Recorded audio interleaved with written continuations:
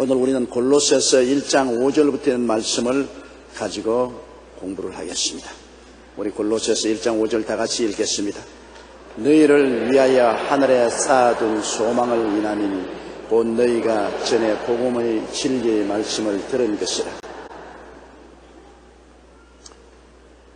부모는 자식의 굉장한 소망을 둡니다.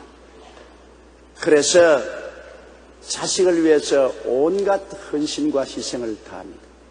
부모는 자기 먹을 것 안 먹더라도 자식에게 먹이고 자기는 못 입어도 자식에게 잘 입히고 자기는 교육을 잘 못 받았으나 자식에게는 어떻게 하든지 최고의 교육을 시키려고 합니다. 한국에서 교육을 못 시키면 해외에 가서라도 교육을 시키려고 온갖 희생과 발버둥을 다 칩니다. 그것은 왜냐? 소망을 가지고 있기 때문인 것입니다. 자식이 장차 훌륭하게 되어서 부모의 기대에 어긋나지 않은 아름다운 삶을 살 소망을 가지고 있기 때문에 온갖 고생을 참고 견딜 수 있는 것입니다. 소망이라는 것은 정말 좋은 것입니다. 소망의 무지개가 있으면 항상 그 무지개를 바라보고 현실의 고통을 이겨낼 수가 있습니다. 소망이 없으면 고생하려고 하지 않지요. 우리 교회 권사님 한 분 이제는 천국 갔습니다만 18살에 과부가 되었습니다. 그러니 시집 가자마자 과부가 되었는데 뱃속에 어린애기가 있었어요.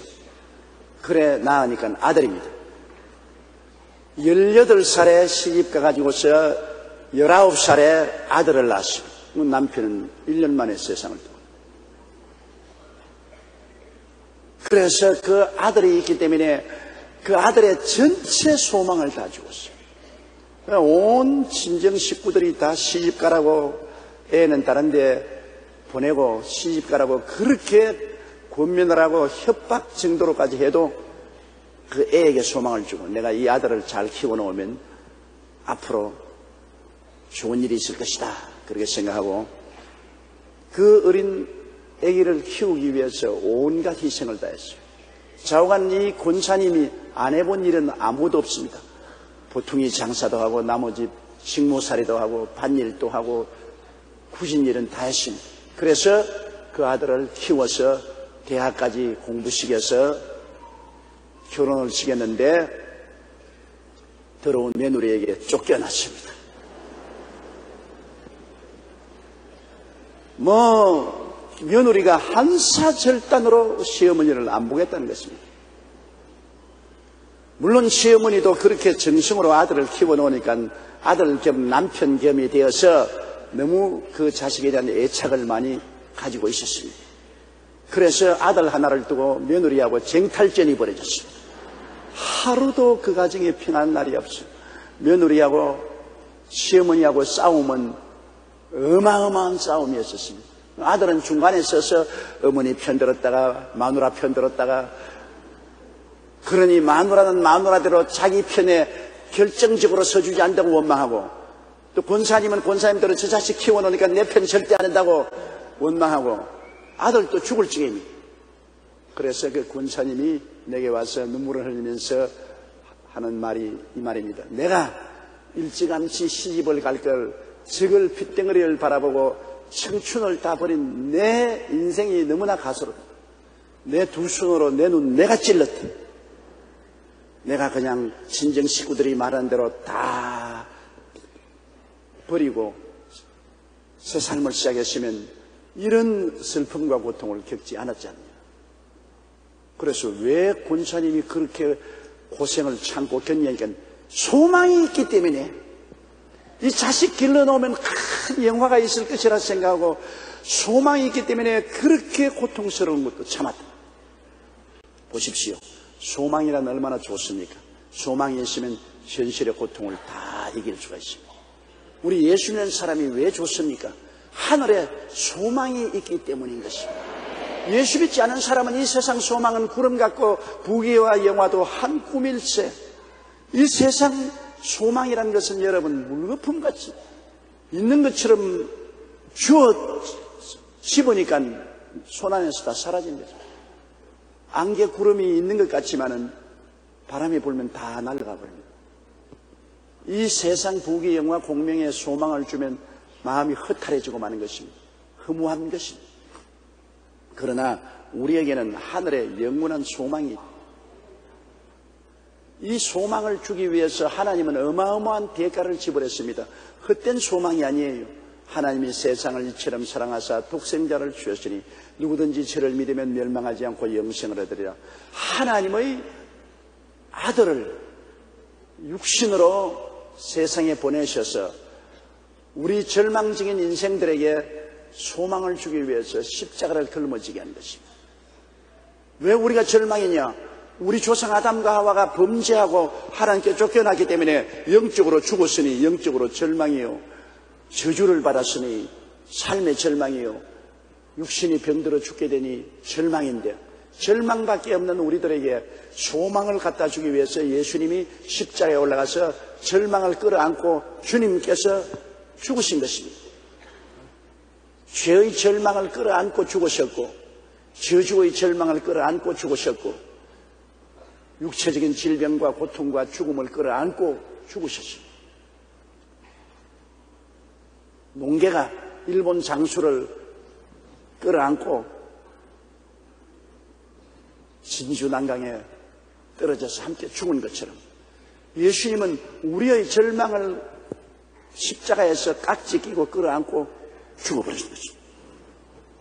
예수님과 함께 죄와 사망도 죽고 저주도 죽고 질병과 육체적인 파멸도 죽었습니다.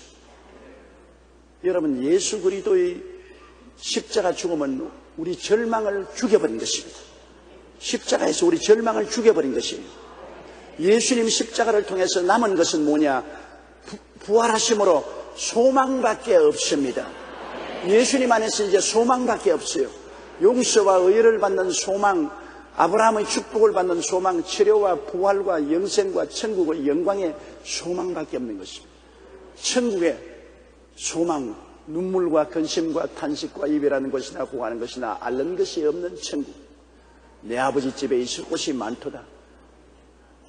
그곳에서는 부활해서 육의 몸이 신령한 몸이 되고 추한 몸이 영광스러운 몸이 되고 약한 몸이 강한 몸이 되고 늙은 몸이 젊은 몸이 되고 영원히 주와 함께 우주를 상속으로 받아 다스리는 삶을 살겠다는 놀라운 소망이 우리에게 있는 것입니다. 그러므로 예수님을 구주로 모시면 앉아도 소망이요, 서도 소망이요, 이 땅에도 소망이요, 죽어도 저 세상에도 소망이 있는 것입니다.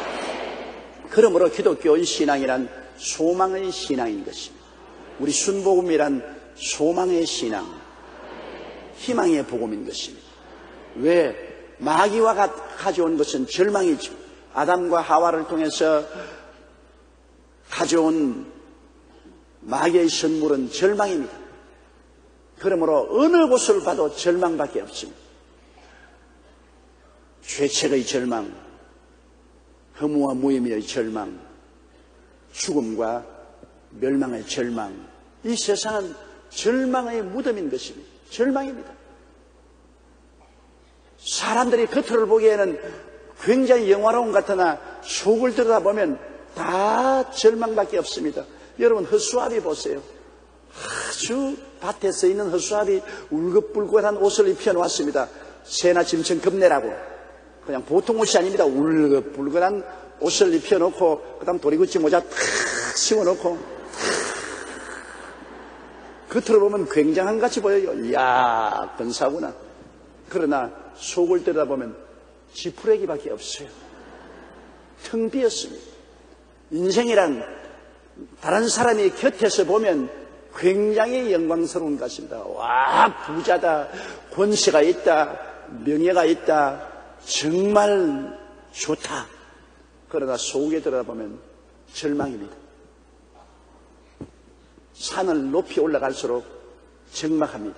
사람은 어느 곳에나 정점에 이를수록 외롭고 고독합니다.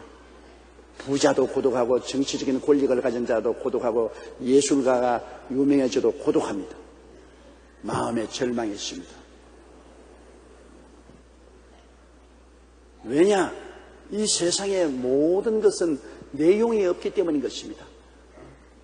아주 좋은 것 같아도 손에 취하고 보면 내용이 없어요. 그것은 마귀가 갖다 준 절망이기 때문인 것입니다. 죄책의 절망, 허무와 무의미의 절망, 죽음의 절망. 그러나 예수님이 오셔서 이 절망을 다 십자가에서 죽여버리고 끌어안고 죽여버리고 주님께서 부활하심으로 말미암아 그리스도의 계신 곳에는 이제는 희망밖에 없습니다. 우리 예수 믿는 사람은 항상 희망으로 넘쳐야 되는 것입니다. 예수님이 희망이시니까 예수 그리스도 안에 있는데 절망할 수가 없습니다. 그리스도는 금세 희망, 내세 희망이 되는 거죠. 아무리 흑암이 다가와도 그리스도 안에서는 다 녹아버리고 희망밖에 남지 않은 것입니다. 그러므로 너희를 위하여, 너희를 위하여, 우리 위해 그렇습니다. 나 위하여, 다른 사람 위한 것이 아닙니다.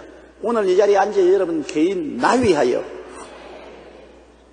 우리 찬송이 있습니까? 나 위하여 십자가에 중한 고초 당하사 나 위하여 나 위하여 그래서 하늘에 쌓아둔 소망 하나님이 소망을 하늘에 쌓아놓았었습니다. 그냥 예금이 잔뜩 되어 있다고요. 아예 하늘나라에 가서 우리가 누릴 수 있도록 하기 위해서 이미 하나님이 다 예배해 놓은 것입니다. 예수님도 그렇게 말씀하지 않았습니까? 너희는 마음에 근심하지 말라. 하나님 믿으니 또 나를 믿어라. 내 아버지 집에 있을 곳이 많도다. 내가 너희를 위하여 처소를 예배하러 가노니 예배하면 다시 와서 나 있는 곳에 너희도 함께 있게 하리라. 우리 처소는 예비되어 있어요.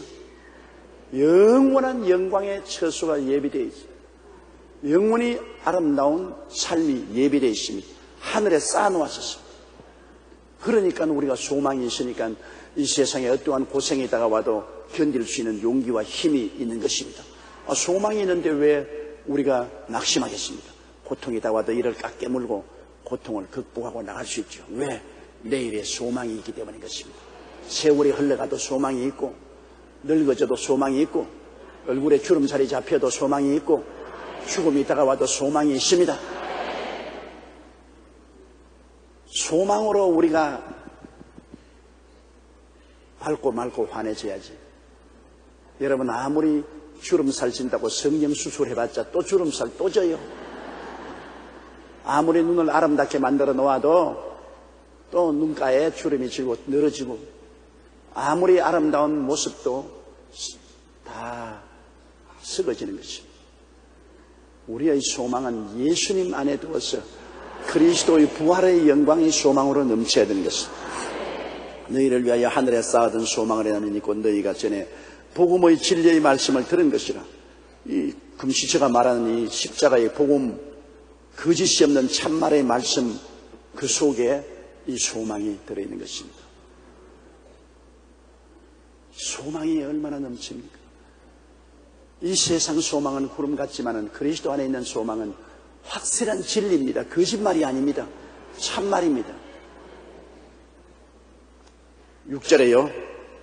이 복음이 이미 너희에게 이름에 너희가 듣고 참으로 하나님의 은혜를 깨달은 날부터 너희 중에서와 같이 또한 온 천하에서도 열매를 맺어 자라는도다.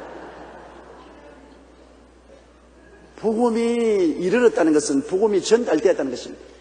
여러분 우리에게도 많은 사람이 복음을 전해 주었지 않습니까? 복음이 우리에게 전달됐습니다. 이 복음을 전달하는 것은 참 중요합니다. 왜냐하면 전하지 않으면 믿을 수가 없잖아요. 믿으면 들으면서 나는데 들어야 믿지 안 들었는데 캄캄한데 어떻게 믿을 수가 있는 것입니까? 그러므로 우리가 구역회에 이웃 사람들을 청해다가 복음을 듣게 해주고 또 이웃에 나가서 복음을 전하는 것 굉장히 중요합니다. 우리가 선교사를 보내어서 땅 끝까지 복음을 전해주는 것 굉장히 중요한 것입니다. 전해야 들을 수 있고 들어야 믿을 수 있지 듣지 못하면 믿을 수 없잖아요. 진리의 말씀을 들었다고 말했어요. 이 복음을 너희에게 이미 이름에 너희가 듣고 참으로 하나님의 은혜를 깨달은 날부터 깨닫는다는 것은 복음이 심어지는 것을 말합니다. 아무리 들어도 마음속에 심어지지 않고 이 죽기로 봤다 이 죽기로 나가는 사람 많아요. 아 예수 그리스도의 복음을 들어도 뭐 그런가 보다 예수님이 또 선전한다. 나하고 아무 상관도 없다. 취미도 없다. 한쪽 귀로 와서 한쪽 귀로 흘러가 버린다. 또 더구나 혼미케 하는 영이 있어가지고서 우리 복음의 말씀을 들어도 깨닫지 못하게 합니다. 제가 불광동에서 너무나 희한한 일을 체험했는데 모 대학교 교수 부인이 우리 교회에 열심히 나왔어. 그런데 그 부인이 자기 집에 와서 자꾸 예배 받아라. 하는 말에 우리 신랑은 대학 교수인데도 불구하고 목사님, 어, 전도사님 희한한 일이 있습니다. 왜냐하면 잡지도 잘 보고 신문도 잘 보고 다 잘 보는데 성경만 펼치면 한 발자국도 못 봅니다. 가정 예배를 보겠다고 남편을 달래해 가지고서 성경을 읽으라 하면 한 마디도 못 읽습니다. 눈에 안 보입니다. 성경이. 그러나 적시로 신문 갖다 놓으면 줄줄 잘 읽습니다. 그래서 내가 그 집에 가정 예배를 드리러 갔어요. 가서 사람이 참 착하더라고요. 부인 말을 잘 듣더라고요. 물론 요 사이에는 부인 말 안 듣는 남자 없지만은 그때는 좀 그래도 완고한 편이었는데도 부인 말을 잘 듣더라고요. 그런데 예배를 시작하고 찬송을 하고 설교를 하는데 앉아서 한밤중에 자는 식으로 코를 골면서 자요. 아, 예배 안 드리면 또 깨서 눈이 또렷또렷한데 찬송하고 하나님 말씀 들으니까 그 부인이 연방 꼬집으니까 또 이랬다가 또 안 꼬집으니까 또 자고. 그러니까 부인이 눈을 깜짝깜짝 하면서 이 모양이라고. 그래서 제가 예배를 피하고 난 다음에 교수님 성경 한번 읽어보라고 성경을 펴니까 눈을 깜짝깜짝 하면서 목사님 못 읽겠어요 왜 못 읽겠냐 눈에 글이 하나도 안 들어옵니다 뭐가 눈에 막 얼렁거려가지고서 눈에 글이 안 들어옵니다. 그래서 내가 말했습니다. 교수님, 교수님은 학문이 많고 지식이 많은 어른이라 내 말을 안 믿을지 모르겠지만은 지금 교수님이 어디에 잡히느냐? 혼미케 하는 영에 잡혔습니다. 이 세상에는 성령이 계신가 하면 악령이 있는데 악령이 교수님을 잡고서 마음을 혼미케 해서 하나님 말씀을 못 듣게 들으면 코를 골고 주무시게 하고 그 다음에는 성경을 읽으면 눈이 얼렁거려서 못 읽게 하는 건 악령이 그렇게 합니다. 내가 악령 좀 쫓아드릴까요? 이번에 무릎을 꿇으면서 쫓아주시오. 그래서 내가 머리에 손을 얹고 나사렛 예수 이름으로 명하느니 이 혼미케 하는 귀신아 나오라! 마음을 혼미케 해서 그리스도의 영광을 바라보지 못하게 하는 귀신아 물러가라! 고통을 치니까 몸을 부르르 떨더라고요. 그 다음에는 그 기도를 마치고 난 다음에 성경을 펼쳐서 읽어보라니까 아주 총명하게 잘 읽더라고요. 쌀쌀. 네. 그 자기도 고개를 갸우뚱하면서 희한한 일입니다. 귀신을 쫓아내고 난 다음에 글자가 그렇게 잘 보인다는 것입니다. 여러분, 혼미케 하는 영은 어찌하든지 우리에게 복음이 전달되지 못하게 하고 복음이 전달되면 마음을 혼돈시켜서 깨닫지 못하게 합니다. 그 마귀가 복음은 절대로 회방하는 것은 복음을 통하면 사람들이 구원을 받고 희망을 얻게 되기 때문에 흑암 속에 잡고 있기 위해서는 복음의 빛이 비치지 못하게 한단 말입니다. 그렇기 때문에 여러분 은혜를 깨닫는 것은 마귀를 쫓아내고 성령의 역사가 일어나야 깨달을 수 있는 것입니다. 마귀가 오면은 마귀는 자꾸 도둑질하고 죽이고 멸망시키는 일만 하기 때문에 복음의 생명의 역사가 못 들어오게 회방을 한단 말입니다. 무관심하게 만들고 회방하고 어리석게 생각하게 만들고 그래서 복음하고 접착하지 못하게 하는데 하나님의 성령은 오셔서 우리를 감화, 감동, 깨닫게 만들어 주셔서 복음의 진리가 마음속에 심어지게 만들어 주는 것입니다. 마음을 다치는 것은 마귀의 역사요. 마음문을 여는 것은 성령의 역사인 것입니다. 성령께서 마음을 열어 주셔야 복음이 마음속에 심어지지요. 성령이 마음을 안 열어 주시면 원래 아담과 하와 이후의 자손들은 다 마귀에게 잡혀 있기 때문에 그냥 복음을 들을 수가 없습니다. 태어날 때부터 벌써 마귀의 지배하에서 태어나고 죄인으로 태어나니까 그 마음을 누가 엽니까? 성령이 거죠.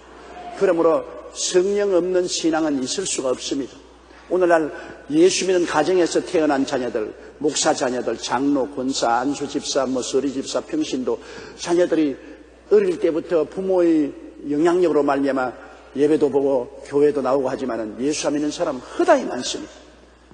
종교적으로, 문화적으로, 형식적으로 왔다 갔다 하지만은 마음 문이 열리지 않았어. 그냥 형식적으로 오는 거예요. 우리 아버지가 목사고 장로고 뭐 어머니가 권사고 집사고 교회 나가니까 우리도 뭐 교회 나간다. 그래서 형식적인 신자지 마음 문이 열려서 마음에 그리스도의 복음이 심어지지 않았습니다. 내가 어제 저녁에 Rise Up Korea라고 젊은 청년들을 복음을 믿게 하고 크게 예배를 드리게 하는 Rise Up Korea라는 단체가 있는데 거기 예배 참석해서 설교를 했습니다. 그런데 그게 서울대학교 1학년 학생이 나와서 간증을 하는데 굉장히 감동을 느꼈습니다. 그는 말이 나는 예수 믿는 가정에 태어났습니다. 우리 아버지도 예수 믿고 어머니도 예수 믿고 어릴 때부터 그냥 예수 믿는 것이 그냥 산, 사는 방식인가 보다 그렇게 하면서 예수님은 몰랐습니다. 나는 가정에서 그렇게 생활하면서 학교 가서는 주먹제비였습니다. 친구들 때리고 어, 협박하기 때문에 친구들이 다 나를 싫어했습니다. 그랬는데 이 청소년 예배에 참석해서 찬송의 감동을 입고 그 동기로 말미암아 마음문이 열려서 예수님을 비로소 구주로 마음속에 모시게 됐습니다. 고등학교 3학년이 될 때까지 교회에서 자랐고 예수 믿는 가정에서 자랐지만은 몸에는 기독교가 빼어 있으나 마음에는 예수님이 없었다는 것입니다. 그러나 그가 무릎을 꿇어서 마음 문을 열고 예수님을 구주로 모시고 난 다음에 자기 하는 말이 자기도 놀랬다. 왜냐? 학교에 와서 떨어진 휴지를 자기가 줍기 시작하더랍니다. 그런 일이 있을 수가 없는데 주먹이나 쓰고 휴지도 막 던져버리고 하던 자기가 예수님이 속에 들어오고 난 다음부터 학교에 떨어진 휴지를 줍기 시작하고 그 다음에는 친구들 보고 교회 나가자 예수 믿다고 전도하기 시작하고 주묵질하던 주묵이 사라지고 그 다음에는 학교에서 점점 이 학생들을 다 축교로 인도해야 되겠다는 마음이 끌어올라서 학교에서 학교를 구원하기 위한 기도회를 만들었어요. 그래서 애들을 불러 모아놓고 난 다음 구원을 위한 기도회를. 그러면서 그 간증하면서 내 인생 나도 모르겠다고. 어떻게 내가 이렇게 변화됐는지. 예수님이 마음속에 들어오자 말자 예수님의 인격적인 변화가 내 생애 속에 다가왔다는 간증을 들었습니다. 여러분 보십시오. 문화적으로, 형식적으로, 의식적으로 몸담아 있는 교회라도 마음속에 예수님이 심어지지 아니하면 아무 소용이 없어요. 그리스도가 구주라는 것이 깨달아지게 해서 예수님을 마음속에 심게 하는 것은 성령의 역사가 있어야만 되는 것입니다. 이러므로 성령의 역사는 기도할 때 일어나는 것입니다. 기도 안 하면 성령의 역사는 안 일어나요. 성령 바람은 기도를 통해서 나타나는 것이기 때문에 우리가 남에게 전도하려고 해도 열심히 그분을 위해서 기도하고 가야 돼요. 자녀들 위해서 열심히 기도를 해줘야 성령이 그 마음을 열어주는 것입니다. 교회도 모여서 우리가 열심으로 하나님께 기도하면 성령의 역사에 있어서 사람들의 마음이 열려짐으로 하나님의 은혜를 깨달을 수가 있게 되는 거죠. 깨닫지 못하면 아무 소용이 없어요. 아무리 좋은 말해도 깨닫지 못하는데 무슨 소용이 있습니까? 깨달음이란 정말 중요하지요. 그 깨달음이 사람의 힘으로 깨달아집니까? 성령이 오셔야만 깨달아지는 것입니다. 성령이 우리 눈을 번쩍 열어. 아, 이것이구나. 예수님이 이런 분이시구나. 구원이 이런 것이구나. 마음에 깨달음이 타오면. 그러면 변화가 오는 것입니다. 사람이 변화된다는 것은 깨달아야 변화가 오지. 강제로 쥐어 박는다고 오지 않습니다. 감옥에 집어넣는다고 변화 없니까? 감옥에 들어가는 사람은 7번, 8번, 9번, 10번까지 재범을 합니다. 때린다고 깨달아 어, 변화된가? 얻어맞고도 안 깨달아져요. 내가 옛날에 목포에 부흥회 갔을 때 보니까 도박하는 자식을 부모님과 형제들이 짝두에다가 열 손가락 다 잘라 놓아도 열 손가락 다 나가니까 몽당손으로 또, 또 도박해요. 또 도박해요. 그러나 그분이 나중에 그리스도를 구주로 모시고 깨닫고 난 다음에 교회 집사가 되어서 흥금대를 이렇게 하고 들고 다니는 걸 보았습니다. 깨달아야 돼요. 아무리 교회 왔다 갔다 해도 깨닫지 못하면 헛수고요, 헛수고. 왜 오랫동안 예수 믿다가 타락합니까? 깨달았으면 타락 안 해요. 예수님이 구주인 것을 깨달았는데 어떻게 타락을 해요? 한 번은 예수님 제자들이 많이 예수님 주위에 있다가 예수님의 말씀을 깨달을 수 없다고 해서 떠나갔습니다. 예수님이 내 살을 먹고 내 피를 마셔야 생명이 있다니까 이것을 어떻게 깨달으리요? 어떻게 자기의 살을 우리에게 주어서 먹이고 피를 주어서 마시게 하겠느냐? 많은 제자들이 떠났습니다. 그때 예수님이 베드로 보고서 너희도 나를 떠나겠느냐? 베드로가 말하기를 생명의 말씀이 죽게 있사오니 우리가 주를 떠나 어디로 가오리까? 깨달은 사람은 예수님 곁에 붙어 있고 안 깨달은 사람은 다 떠나가는 것입니다. 오늘 수요일 날 예배 나오는 사람은 깨달은 사람들. 주일 날 오는 사람들 중에는 안 깨달은 사람 많아요. 부인에게 끌려오고 남편에게 끌려오고 부모에게 끌려오고 친구에게 끌려와서 억지로 앉는 사람도 많이 있어요. 그 사람들은 깨달을 후보자들이지만은 수요일 날 이 바쁜데 이 대낮에 이 멀리 여의도까지 와서 눈알이 초롱초롱하게 앉아 있는 것을 보면은 깨달은 사람들이에요. 예수가 구주인 것을 깨달아 알고 천국의 소망을 깨달은 사람들이 앉아 있는 것입니다. 얼마나 귀합니까? 어떻게 깨달았어요? 여러분이 지혜와 총명에 있어 깨달은 것이 아니라 성령이 깨닫게 해주신 것입니다. 그렇기 때문에 우리는 항상 성령님을 인정하고 환영하고 모시드리고 의지하고 기도할 때마다 하나님 성령으로 채워달라고 기도해야 되는 것입니다. 성령 없이는 하늘나라와는 아무 상관이 없습니다. 성령 없는 복음은 복음이 아닙니다. 성령 없는 신자는 깨닫지 못한 신자로 아무 효과가 없는 것입니다. 그러므로 이 복음이 너희 이미 너희에게 이름에 너희가 듣고 참으로 하나님의 은혜를 깨달았다. 깨달은 날부터 너희 중에 서와 같이 또한 온 천하에도 열매를 맺. 깨달으면 열매를 맺죠. 왜냐하면 깨달았다는 것은 심어졌다 그 말인 것입니다. 콩을 심거나 팥을 심어 놓으면 사기 나고 줄기가 돋고 잎사귀가 나고 꽃피고 열매 맺게 되는 것입니다. 깨달으면 열매 맺게 돼요. 아까 그 서울대학교 1학년 학생 간증처럼 예수님을 심고 난 다음부터 그 다음에는 열매가 맺죠. 휴지도 줍고 주먹질도 안 하고 친구들에게 전도하고 기도회를 만들고 깨달으면 열매를 맺게 돼요. 예수 믿는다고 하면서 열매 없으면 깨닫지 못하기 때문에 그리스도가 심어지지 않았기 때문이었습니다. 콩 심었는데 왜 콩이 안 나요? 그러면 썩은 콩이지. 썩은 콩이 아닌다면 콩 나지요. 팥 심은데 팥이 안 썩었으면 팥이 나지요. 나왔으면 열매를 맺게 되지요. 예수 심었는데 왜 예수 그리스도의 모습이 나타나지 않겠어요? 예수 믿는다고 하면서 10년, 20년 지나도 한 번도 남에게 전도하지 않냐고 입을 딱 다물고 있으면 깨닫지 못한 사람인 것입니다. 내가 깨달았으면 다른 사람에게 빛을 비춰줘야죠. 그 사람이야 믿든지 아니 믿든지 그거는 그 사람 책임이고 내가 깨달았으니까 내가 안타까운 마음으로 사람들에게 예수님들하고 전도도 하고 기도도 하게 되고 내가 그리스도 안에서 열매를 맺게 되는 것입니다. 깨달음이 이코울 열매입니다. 열매 없는 나무는 주님이 저주해 버렸습니다 그것은 쓸데없는 때문인 것입니다. 하나님의 은혜를 깨달은 날부터 너희 중에서와 같이 또한 온천하에도 열매를 맺는 우리 여의도 순복음교회가 여러분 그리스도의 진리를 깨달았지 않습니까? 그러므로 우리가 깨달았으니까 그때부터 열매 맺어야죠. 어떻게 열매 맺죠? 온 우리 한국의 제자들을 다 보내. 우리 교회에서 세운 순복음 신학교 20년 동안 4천 명의 학생들이 졸업을 하고 주의 종이 됐습니다. 우리 교회는 1975년 4월 1일 순복음 세계 선교회를 창립하고 난 다음 31년째 되는데 우리가 깨달았기 때문에 온 세계를 통해 열매를 맺는 것은 56개국에 617명의 선교사를 지금 파송하여 747개의 교회를 세워 7만 8천여 명의 성도들이 온 세계 구원을 받아서 하나님께 영광을 돌리고 있습니다. 복음이 증거되면 복음에는 생명력이 있기 때문에 깨닫자 말자 열매를 맺는데 에루살렘에서 유대에서 사마리아에서 땅끝까지 열매를 맺어야 돼요. 열매 맺지 않으면 가짜입니다. 그러므로 열매를 맺으니까 교회가 커지지요. 뭐 사람들이 대형 교회라고 욕을 하는데 대형교회가 그냥 대형교회가 되는 것이 아닙니다. 우리 대형교회 만들 테니까 오너라! 그런다고 올 사람 누가 있어요?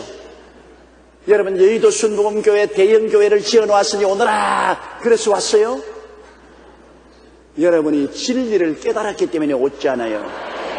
아, 진리를 깨달은 교인들이 깨닫자 말자 자꾸 이웃에 가서 열매 맺습니다. 아, 교회 가서 은혜 받자. 가자, 오늘아, 가자, 가자. 뭐 자꾸 억지로 끌고 와서 또 그 사람 예수 믿고 깨닫게 되니 또 이웃을 끌고 오고 또 끌고 오고 그래서 지역이 되고 구역이 되고 모여서 오니까 교회가 커지시죠. 자꾸 대형교회라고 손꾸락질하고 욕하는 사람들 보면 나는 한심합니다. 대형교회라고 해서 그냥 가만히 있어 대형교회가 되는 것이 아닙니다. 성도들이 성령으로 말미암아 깨닫게 되기 때문에 성도들이 나가서 자꾸 다른 사람을 물어오는 것입니다. 열매 맺게 돼요. 열매 맺게 돼요. 이웃에만 열매 맺는 것이 아닙니다. 전국적으로 열매 맺고 전 세계적으로 열매 맺게 되는 것입니다. 자꾸 퍼져나가는 것입니다. 담장 있는 굴 보십시오. 담장 있는 굴 하나 심어 놓으면 얼마 있잖아요. 온 담이 다 담장 있는 굴로 덮여버립니다. 그러나 요새 플라스틱으로 만든 담장이 있는 굴 하나 딱 걸어놔 보십시오.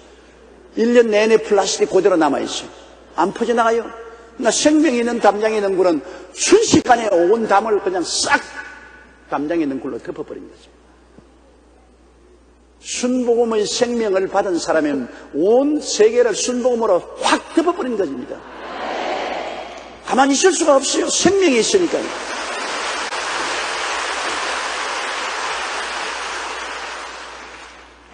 하나님의 생명이 우리 속에 깨달음을 통해서 들어와야 돼요.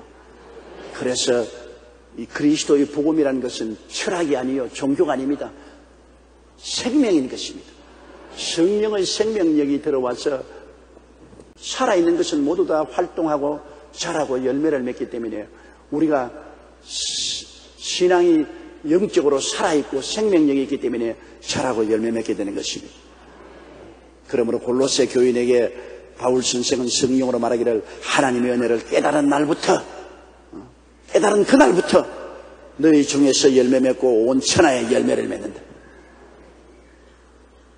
오늘 예수 믿고 중생하면 오늘 당연 집에 가서 벌써 열매 맺기 시작합니다. 야, 예수 믿고 얼마나 좋은지 모르겠다. 여보, 교회 나가. 어머니 교회 나갑시다. 아버지 교회 나가십시다. 이웃 보고, 야, 교회 나가서 얼마나 좋은지 몰라. 우리 예수 믿고 구원받고 얼마나 평화롭고 좋은지 몰라. 가. 깨닫는 그날부터, 깨닫고 난한 10년 후회가 아닙니다. 깨닫고 난 후에 1년 후회가 아닙니다. 이 성경의 말씀을 여러분 따라 읽으세요. 하나님의 은혜를 깨달은 날부터 내일이 아닙니다. 깨달은 그날부터 너희 중에서와 같이 또한 온 천하에도 열매를 맺어 자라는 것. 아, 이거 복음의 진리는 놀라운 것이죠. 우리 중에뿐 아니라 온 천하에 열매를 맺고 자란다. 그렇기 때문에 그리스도의 몸된 교회는 여러분 예수님이 말한 것처럼 어, 작은 계자씨 하나를 심었는데 크게 자라서 공중에 새들이 깃든다. 여자가 누룩, 밀가루 세 마리에 누룩을 넣으니까 크게 부풀어졌다. 복음은 자꾸 향상하고 발전하는 가능성을, 생명력을 가지고 있습니다. 30배, 60배, 100배로 자라게 되어 있는 것입니다. 한 사람이 예수 믿고 깨달으면 그를 통해서 30명이 예수를 믿게 되고 혹은 60명이 예수를 믿게 되고 100명이 예수를 믿게 되는 역사가 일어나야 되는 것입니다. 이게 깨달음으로 말미암아 말씀이 심어진 사람에게 역사하는 것입니다. 그러므로 교회가 자라지요. 우리 대한민국의 교회들이 안 자란 이유가 어디 있습니까? 우리가 왜 1200만 성도가 되고 난 다음 제자리 걸음하고 있습니까?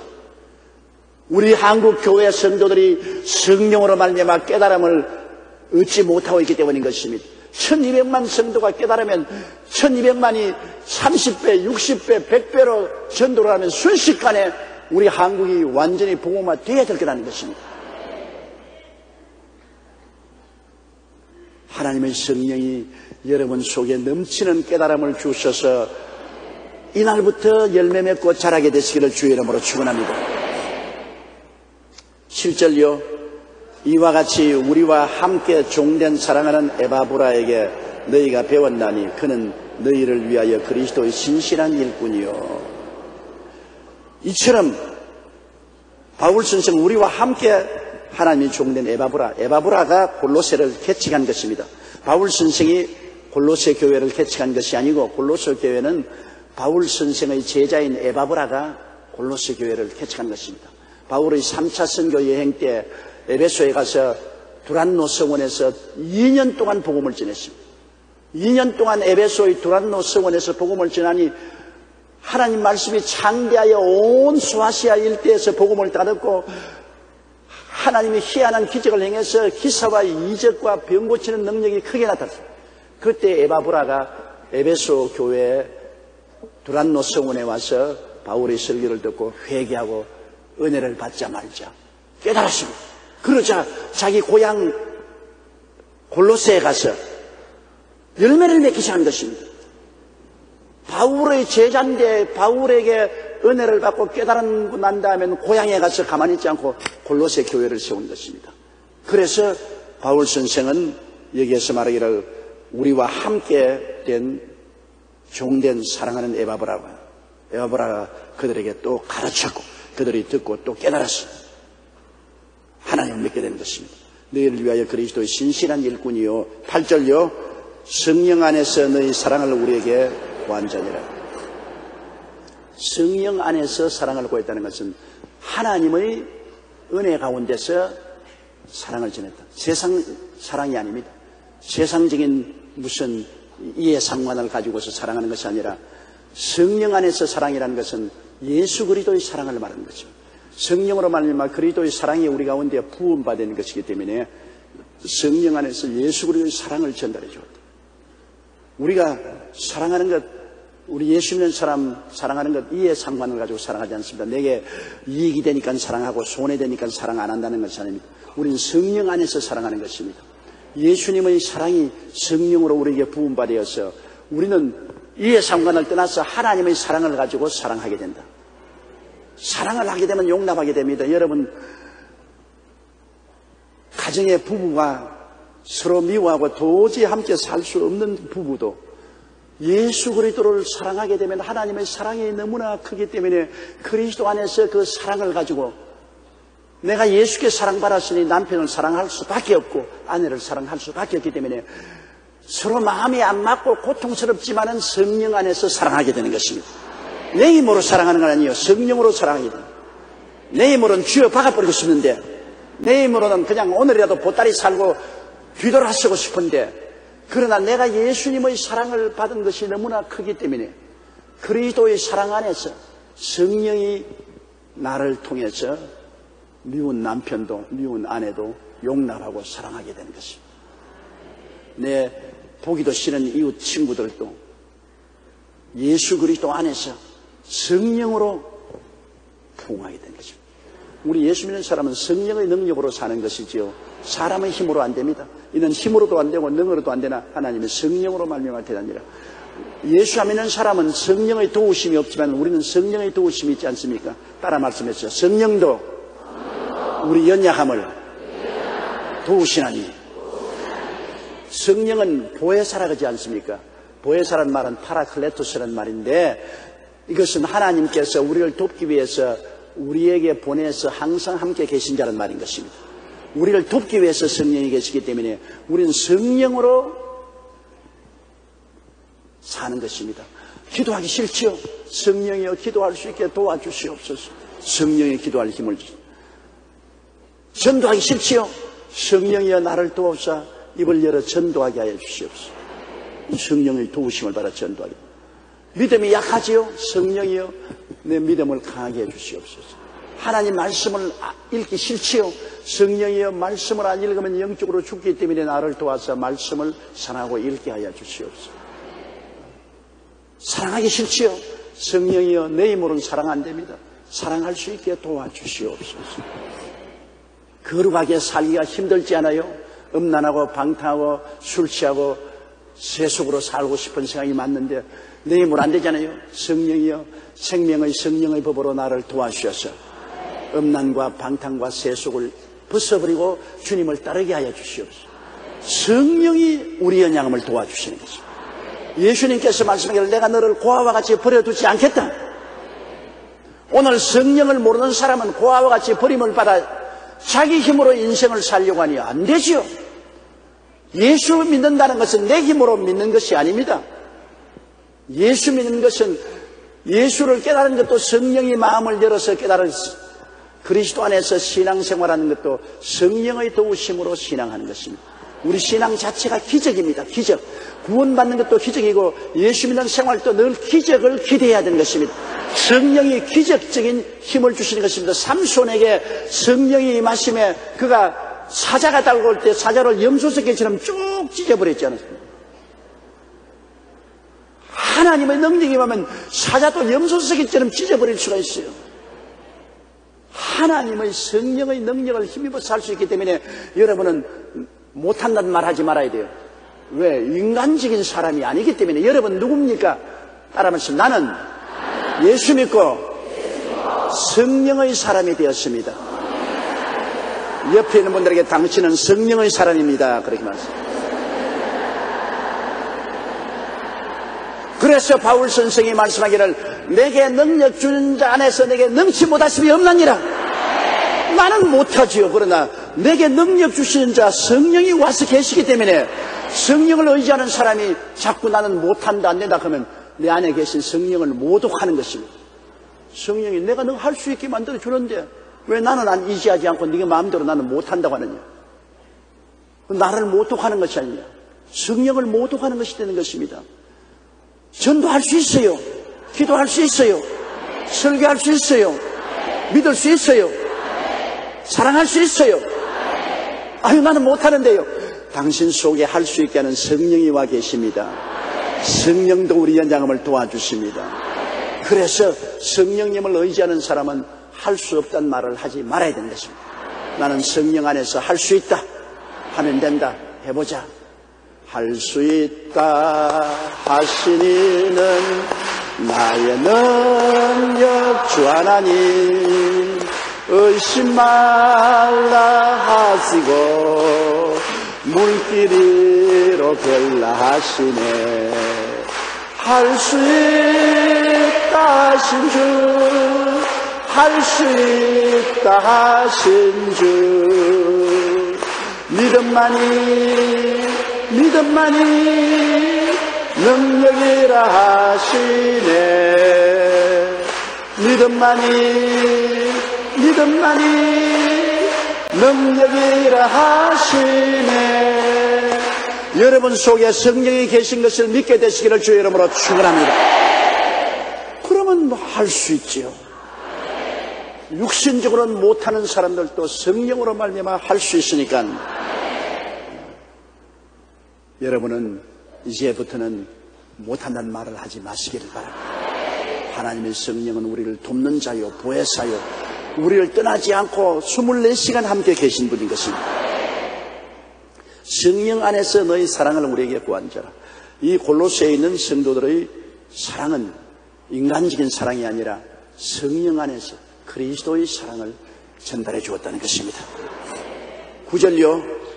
이로써 우리도 듣던 날부터 너희를 위하여 기도하기를 그치지 아니하고 구하노니 너희로 하여금 모든 신령한 지혜와 총명에 하나님의 뜻을 아는 것으로 채우게 하시고 바울 선생은 로마 감옥에 있으면서 에바브로에게 보고를 받았어요. 교회가 세워지고 사람들이 은혜를 받고 어, 성령으로 충만해서 바울 선생을 보지도 못했으면서 뜨거운 사랑을 전달한다. 성령의 로 말미암아 사랑을 전달한 그 말을 듣자마자 바울 선생은 감옥에서 엎드려서 골로새 교인들을 위해서 기도합니다. 여러분 기도는 두 가지 중대한 역사를 일으키는 능력이 있습니다. 첫째로 기도는 마귀를 물리칩니다. 제가 주일날 설교를 했지만은 광풍은 배후에서 마귀가 조종하는 것입니다. 개인의 가슴 속에 일어나는 광풍, 염려, 근심, 불안, 초조, 절망, 광풍, 가정적인 광풍, 사회, 국가, 세계적인 광풍의 배후에는 마귀가 있다. 마귀가 광풍을 일으켜서 우리를 침몰시키려고 합니다. 그 광풍은 예수님이 잠잠케 하시는데 예수님이 잠잠케 하기 위해서는 제자들이 예수님을 파도 이런 바다에서 배에 주무신 예수님을 깨웠습니까? 같이 잤습니까? 깨웠, 깨운다는 것은 기도인 것입니다. 광풍이 일 때 우리가 기도를 하면 예수님이 깨어 일어나서 광풍을 가져오는 마귀를 꾸짖어서 중지시켜 버린 것입니다. 그러므로 우리는 우리의 모든 개인, 가정, 생활, 자녀, 사업의 문제에서 광풍이 일어나면 기도를 통해서 예수님을 깨워 일으킴으로 예수님이 광풍을 잠잠케 하기 위해서 마귀를 꾸짖어버린 것입니다. 오늘날 우리는 많은 일에 마귀를 묶어야 되는 것입니다. 우리에게 다가오는 도적질하고 죽이고 멸망시키는 사건들이 배후에 마귀가 조정하고 있습니다. 내버려 놓으면 안 되는 것입니다. 쫓아내야 돼요. 방 안에 개미가 들어와서 집을 짓는데 자꾸 방 안이 흐러진다고 걱정하지 말고 개미를 잡아야 돼요. 집에 방 안에 거미가 줄을 칩니다. 거미줄로 아무리 제껴놔도 소용없어요. 여기에 거미줄 제껴놓으면 거미가 저쪽에 가서 또 거미줄 치고 또 거미줄 제껴놓으면 또 가서 거미줄 치고 거미줄을 제낄 것이 아니라 뭐를 제껴야 됩니까? 거미를 때려 잡아버리면 되는 것이요. 그럼 거미줄 없이지 않아요. 거미가 바로 뭐냐? 마귀입니다. 마귀가 와서 거미줄 쳐요. 우리에게 병의 거미줄 치고 불안의 거미줄 치고 분쟁의 거미줄 치고 저주의 거미줄 자꾸 치는데 그거 뒤처리하려고 따라다녀봤자 소용이 없잖아요. 마귀를 기도함으로 물리쳐야 돼요. 예수님께 기도함으로 예수님 마귀를 꾸짖으시고 우리도 예수 이름으로 마귀를 물리쳐서 마귀가 떠나가면 저주와 질병과 고통과 괴로움의 거미줄은 사라져버리고 마는 것입니다. 오늘 예수 믿는 사람들이 너무나 마귀와 귀신을 쫓아내지 않아요. 예수님은 유언을 하실 때 뭐라고 말씀하셨습니까? 온 천하에 다니며 만민에게 복음을 전가하라 믿고 세례받는 사람은 구원을 얻을 것이요 믿지 않은 자는 정죄를 받으리라 그 다음 믿는 자들이 이런 표징에 따르니 제일 먼저 한 말이 저희가 내 이름으로 귀신을 쫓아내라 예수 믿고 구원시계라는 것하고 그 다음에 가장 중요한 것은 귀신 쫓아내라고 말한 거죠 예수님의 생애 속에는 처체 주님 귀신 쫓아내는데 왜 오늘 예수 믿는 사람들 귀신을 안 쫓아냅니까? 예수 믿고 주여 주여 하면서도 귀신 안 쫓아냅니다. 자꾸 거미줄만 청소하고 있어. 우리가 기도할 때마다 귀신을 내어 쫓아. 가정에서, 자녀의 생애 속에서, 사업에서 귀신을 쫓아서 회방을 못하게 해야 돼요. 회방권을 없애야 돼요. 여러분 구역에도 말쟁이가 하나 들어오면 온 구역을 다 뒤엎어 놓습니다. 말쟁이가 이말 물어내고 저말 물어내고 막 4분 5열을 치깁니다. 그러면 그 사람들 자꾸 수습하려고 애를 써도 안 돼요. 말쟁이를 쫓아버려야 돼요. 말쟁이가 쫓겨나가면 구역이 조용해져요. 교회도 그래요. 교회도 말쟁이가 있으면 자꾸 교회를 소란스럽고 당을 만듭니다. 말쟁이를 쫓아버리면 조용해져요. 가장 말쟁이 중에 말쟁이가 귀신인 것입니다. 마귀와 귀신인 것입니다. 이게 와서 자꾸 분란을 일으킵니다. 분란을 자꾸 수습해도 이곳에 수습하면 저쪽에 분란 일어나고 저쪽에 수습하면 이쪽에 분란 일어나고 감당을 할 수 없어요. 그 왜 이럴까? 마귀를 쫓아내야 돼. 내가 주일날 우리 성도의 편지 읽어준 거 기억나지요? 화재가 나서 예수 믿고 난 다음에 부부가 예수 믿는데 불이 나서 부인이 불에 타서 죽고 그 다음 나와서 사업을 하니 사업이 손님마다 안 되어서 부도가 나서 감옥에 들어가고 감옥에서 또 나오니까 또 교통사고가 나서 또 병원에 입원하고 병원에서 나오니까 또 자식이 가출을 하고 뭐 이거 도저히 감당할 수 없는 문제가 자꾸 생겨납니다. 그래서 그분이 내게 편지하기를 목사님 예수 믿기가 이렇게 힘듭니까? 나는 예수 믿고 주님을 사랑하는데 왜 이런 일이 생깁니까? 예수 믿기가 힘든 것이 아닙니다. 예수를 믿으면서도 자꾸 따라와서 거미줄을 치는 귀신을 쫓아내지 않았기 때문인 것입니다. 귀신을 쫓아내지 않고 자꾸 거미줄만 청소하려고 달라다니까 거미가 자꾸 따라다니면서 거미줄 치잖아요. 화재를 일으키고 어, 그렇지 않으면 부도를 나게 하고 그 다음에는 교통사고를 일으키고 또 자식이 가출 나게 하고 비수습을 할 수가 없어요. 그분은 교역자를 불러 모시든지 지구역장을 불러 모시든지 집에 와서 귀신 쫓아내는 기도회를 가져야 돼요. 예수 이름으로 예배 보고 예수 이름으로 이 저주의 귀신아 물러가라. 이 거미줄 치는 원수 귀신아 물러가라. 귀신을 내가 쫓아버리면 파도가 잠잠해져 버리고 마는 것입니다. 그러므로 기도는 귀신을 쫓아내는 큰 역할을 하기 때문에 우리 기도해야 되고 그 다음 또 기도는 하나님의 팔을 움직이기 때문에 역사해야 돼요. 예레미야 33장 3절에 너희는 내게 부르시라 내가 내게 응답하겠고 안 부르시면 응답을 안 해요. 너희는 내게 부르시라 내가 응답하겠고 크고 비밀한 일을 보여주겠다. 네가 알지 못하는 크고 비밀한 해결책을 보여주겠다. 나는 알지 못하지만 은 주님이 크고 비밀한 해결책을 가지고 있기 때문에 부르짖어 기도하는 것이죠. 우리 예수 믿는 신앙생활 중에 가장 중요하고 효과적인 신앙생활의 능력이 기도인 것입니다. 기도는 여러분 뭐 학교를 많이 나와야 할 수 있는 것도 아니고 어, 학문이 많아야 기도하는 것도 아니잖아요. 다 엎드려 기도할 수 있잖아요. 기도를 하면은 마귀의 역사가 물러가고 하나님의 손길이 움직이기 때문에 가장 큰 축복이 기도하는 것입니다. 우리가 이웃에게 선물을 줄 수 있는데 그 선물 중에 가장 큰 선물이 기도해 준다는 선물인 것입니다. 네, 기도해 줄게요. 요 사이는 사람들이 그 말은 입술에 발린 말로 하기 때문에 그게 큰 일이지. 기도해 준다 해놓고 사실은 기도 안 해주거든. 아, 나 기도해 줄 거요. 사실 나도 양심에 갇히게 돼요. 나도 사람들이 와서 목사님 기도해 주세요. 그러면 해줄게. 그 많은 기도를 내가 어떻게 기억을 합니까? 그래서 안 해준다는 말은 못하고 해줄게 해놓고 난 다음 기도 못 해줄 때가 많아요. 가장 큰 선물은 기도를 해주는 것입니다. 여러분이 조영기 목사에게 줄 수 있는 가장 큰 선물은 조영기 목사에 위해서 기도해 주는 것입니다. 여러분의 기도가 마귀를 물리치고 성령의 역사를 일으키기 때문인 것입니다. 여러분이 저에게 방한기 대접 못하더라도 기도 대접을 해 주시기를 주님 이름으로 부탁합니다. 기도. 참, 기도는 중요한 것입니다. 성도의 기도가 여러분 개인과 가정, 사회와 국가, 세계의 운명을 좌우합니다. 우리 한국의 남북 대치가 되어 있고 지금 김정일이 원자탄을 만들어서 협박하고 있지만은 이것을 뒤엎어 버릴 수 있는 힘은 기도에 있습니다. 기도는 김정일을 잡고 좌우하는 원수 마귀를 쫓아버리고 하나님의 손길을 움직이는 것입니다. 하나님이 변화를 가져올 수 있게 합니다.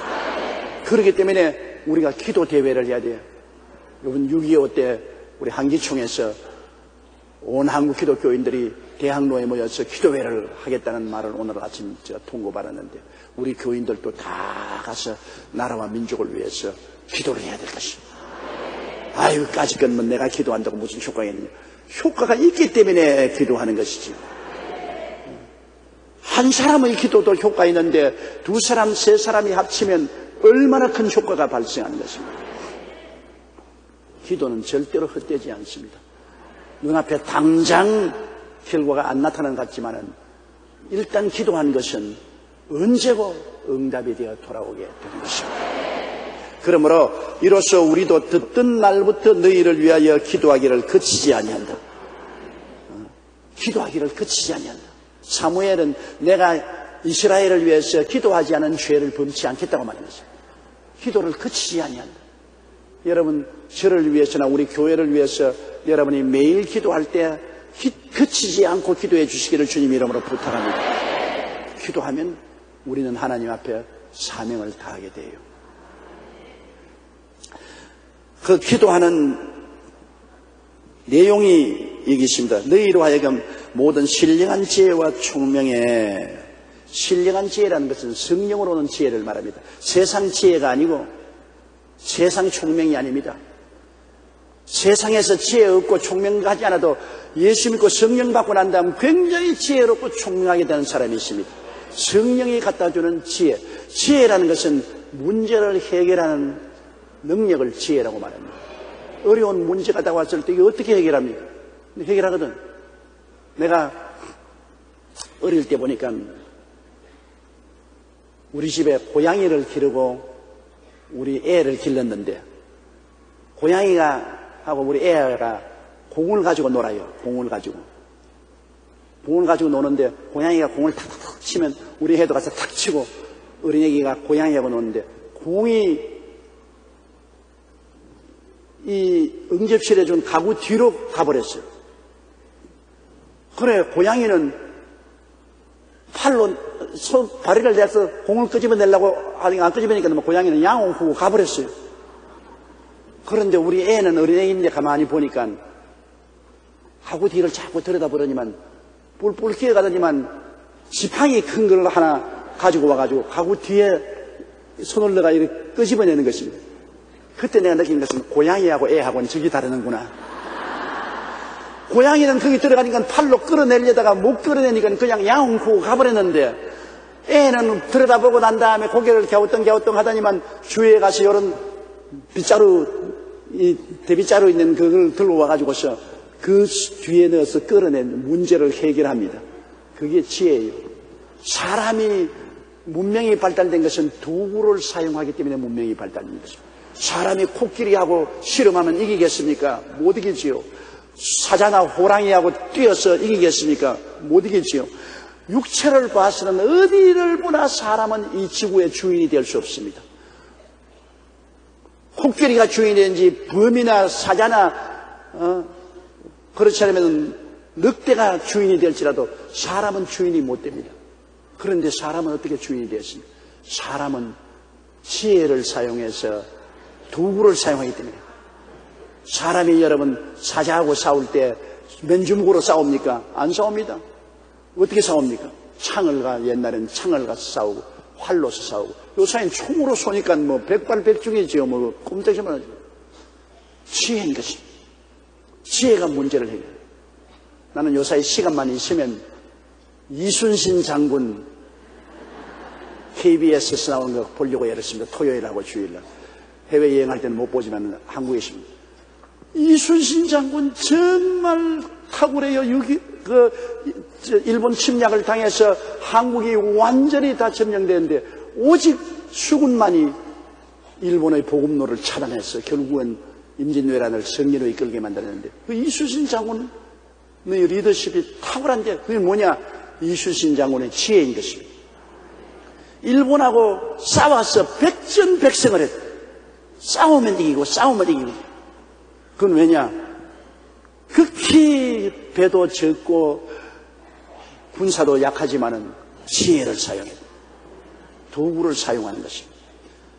그러므로 우리가 지혜를 신령한 지혜를 얻으면 하나님 앞에서 기도하고 성령으로 말미암아 신령한 지혜를 얻으면 개인 가정 생활 자녀 사업 모든 문제에 해답을 얻게 되는 것입니다. 그 때문에 지혜가 필요해요. 이 세상을 다스리는 사람은 지혜 있는 사람이 다스립니다. 지혜가 결국엔 1등 국민을 만드는 것입니다. 지혜. 굉장히 중요한 것입니다. 지식은 학교에 가서 배울 수 있어요. 그러나 아무리 지식이 많아도 지혜가 없으면 그 지식을 못 써먹어요. 지혜가 있으면 지식이 모자라더라도 지식 있는 사람 끌어다가 사용해서라도 문제를 해결할 수 있는 것입니다. 그러므로 무엇보다도 성경에는 지혜를 구하라고 하는 것은 지혜가 그렇게 아름다운 것이기 때문에 바울 선생이 골로새 교인들을 위해서 기도할 때 신령한 지혜를 주시도록 기도한 것입니다. 골로새 교인들이 지혜만 얻으면 모든 일에 성공할 수 있으니까 신앙도 승리하고 생활도 승리할 수 있어요. 지혜가 있으면 문제를 해결합니다. 그리고 또 구한 것이 총명을 구했습니다. 총명은 깨달음을 갖습니다. 몰래래 뭐가 뭔지 전혀 몰라요.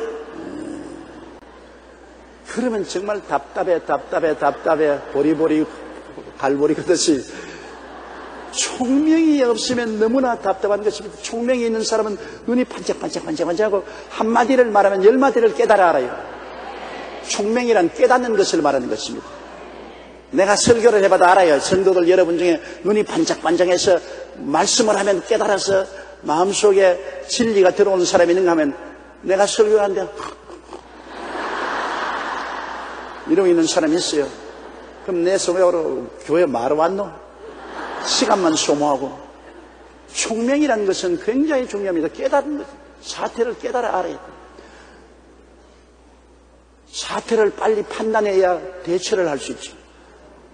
우리 지도자를 위해서 기도해야 될 것은 지도자들이 나라를 다스릴 때 사태를 빨리 판단을 해야 돼요.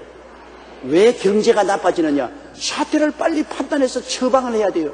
경제가 자꾸 나빠지는데도 좋아진다, 좋아진다 말만 하면 그 큰일이지요. 남북 대결이 되어서 어려운 때 상황을 빨리 판단해서 해결책을 얻어야 되죠. 근데 상황을 판단 못하면 그만 잡아먹어라, 잡아먹어. 그러고 있으면 어떻게 되는 것입니까?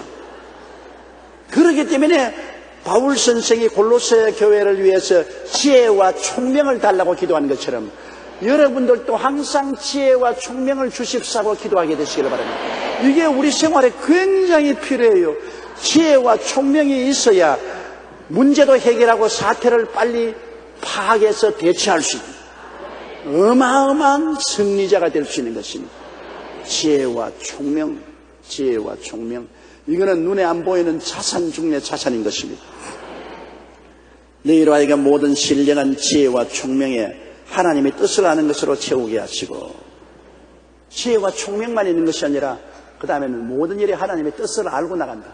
하나님의 뜻을 알면 하나님이 함께 하시기 때문에 뭐 아예 승리를 안고 가는 것이죠. 하나님의 뜻대로 사는데 하나님이 같이 안 할 테겠어요. 하나님의 뜻을 안다는 것은 여러분 하나님의 뜻은 성경에 담겨 있지만은 성경이 너무나 방대하기 때문에 우리가 하나님의 뜻을 분별하지 못할 때가 많아요. 그러므로 하나님의 뜻을 알려달라고 기도하고 성경을 읽으면 성경을 통해서 하나님의 뜻을 우리가 알려주지 않아요. 성령이 도와주시기 때문에 하나님의 뜻을 알도록 바울 선생은 골레스 교인들이 하나님의 뜻을 알도록 기도했다. 우리도 하나님의 뜻을 알게 해달라고 기도를 늘 해야 돼요. 늘 기도하면 성경에 하나님이 우리에게 주신 말씀 중에 하나님의 뜻을 내 마음속에 깨닫게 해주는 것입니다. 하나님의 성령이 마음에 깨닫게 해줘. 그냥 검은 것은 글이요, 흰 것은 종이요. 그렇게 하면 안 돼. 아이고, 하나님의 잔소리가 왜 이렇게 많으시나, 깨닫지 못하니까 잔소리가 많아요. 그러나 성령의 도우심을 받아서 성경을 읽으면 성경의 구구절절이 은혜가 되다가 탁 깨달으면 이것이다. 이것이다. 깨달음이 오면 하나님의 뜻이 환해지지 않아요. 나는 오랫동안 시편 103편을 읽어 참 좋은 말씀이다, 좋은 말씀이다 하다가 하루는 확 마음에 깨달음을 주더라고요. 제가 내 모든 죄를 사하시며 내 모든 병을 고치시며 내 생명을 파멸해서 구속하시고 인자와 극률로 관을 씌우시며 좋은 것으로 만족해 하사 내 청춘으로 독수리같이 새롭게 하는 도다. 어, 이거 그냥 마음에 그냥 확 깨달아지는 거예요. 전에도 늘 그거 알았는데, 그러나 그냥 근성으로 알았지. 마음에 깊이 깨달아지자 내 영혼 속에 영광이 충만해지는 거죠. 깨달아지는 거예요. 성령으로 깨달아지는 거예요. 하나님의 뜻을 그렇게 해서 말씀을 통해서 깨닫고 또 하나님의 뜻을 우리 생활 속에서 하나님은 꿈을 통해서 깨닫게 해주는 있고 환상을 통해서 깨닫게 해주는 사람도 있고 많지는 않지만 또 고요하고 잠잠한 음성을 통해서 깨닫게 해주는 사람도 마음이 기도할 때 고요하고 잠잠한 음성이든 저는 참 어떤 때는 뭐 신바람이 날 때가 있어요. 왜냐하면 기도를 하고 있는데 갑자기 마음속에 하나님 말씀하시는 것입니다. 그 어떻게 말씀하는 나 그거 설명을 할 수가 없어요. 최근에도 내가 어려운 문제가 있어서 하나님께 기도를 많이 했습니다. 하고 난 다음 다른 일하러 가는데 갑자기 마음속에 하나님이 내가 내 사자를 너 앞서가게 해주리라. 하이 뭐 난데없이 푸른 하늘에서 날벼락 치듯이 마음속에서 내가 내 사자를 너 앞서 보내리라. 뭐 하나님 뜻을 내가 알았다. 이와 같이 마음속에 고요하고 잠잠한 음성이 들려서 하나님 있고 또 마음속에 소원을 두고 말씀하실 때 내가 기도하는데 자꾸 소원이 일어나요. 자꾸. 소원이 마음속에 일어나는데 그 소원은 불로 끌 수가 없어요. 기도하면 하나님이 소원으로 잡고 인간적인 육신의 소원이나 마귀가 준 소원은 기도하면 꺼져버립니다. 그러나 성령의 소원은 자꾸 일어나는 것입니다. 소원을 통해서 이끌어 주시고 그렇지 않으면 환경을 통해서 하나님이 뭐 부인할 수 없이 환경에 주님께서 이건 안 돼. 이 길로 가. 환경에서 주님이 확실하게 우리에게 보여줍니다. 그 주의 뜻을 알려고 기도하면 하나님이 이런 방법으로 알려주시는 것입니다. 말씀을 통해서 혹은 꿈과 환상을 통해서 혹은 음성을 통해서 소원을 통해서 환경을 통해서 알려주기 때문에 그런데 관심을 기울이고 하나님께 하나님 뜻을 알게 해달라고 기도해야 됩니다. 바울 선생은 그러므로 골로새 교인들에게 지혜도 구하고 총명도 구하고 하나님의 뜻을 알도록 기도하라 했어요. 하나님의 뜻을 알아. 여러분 우리가 우리의 삶 속에 하나님의 뜻을 알면 마음이 편안해져요. 하나님의 뜻을 알면 하나님이 나와 같이 동행한다는 것을 알기 때문에 하나님이 동행하면 누가 막을 수가 있는 것입니까? 어떠한 힘도 하나님 앞에 대적이 되지 않은 것입니다. 하나님의 뜻을 모를 때 당황하지 하나님의 뜻을 알 때는 당황할 필요가 없죠. 그러므로 우리가 하나님께 기도할 때 지혜도 구하고 총명도 구하고 하나님의 뜻을 알도록 구하면 하나님이 응답해 주시는 것입니다.